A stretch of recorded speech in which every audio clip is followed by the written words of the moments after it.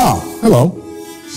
My name is Giancarlo Esposito, and I'm preparing to bring you my most monstrous villain yet, Anton Castillo, in Far Cry 6.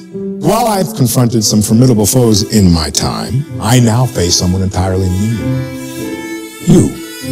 Do you know what you're getting into? Taking on Anton?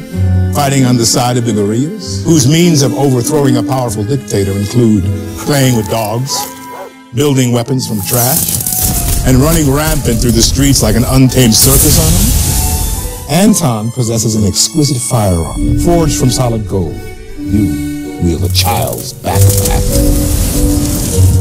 Anton has built a vast arsenal for his loyal army. You disrespect them. You steal their tanks as you scurry from building to building. But still, I'm sure that you'll put up a good fight. Just know that Far Cry is known for its larger-than-life villains. This is a legacy I intend to honor. Before you take up this romantic notion of being a freedom fighter, let me ask you a question. Are you prepared to die for your cause?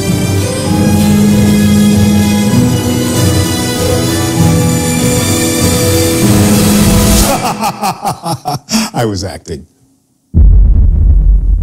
Or was I?